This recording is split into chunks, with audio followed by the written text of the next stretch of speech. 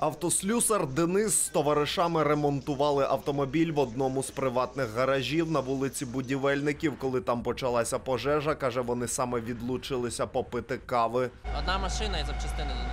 Це наш, автомобіль. Спринтер 412. Спихнуло. Просто загорілося?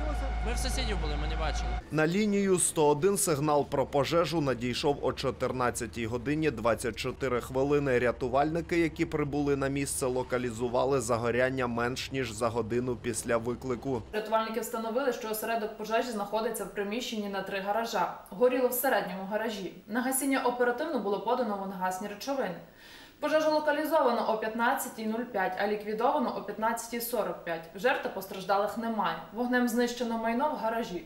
Транспортних засобів в гаражах не було. Причина пожежі та завдані збитки наразі встановлюються. Максим Коломис, Микола Мельничук, Суспільне, Новини Рівне.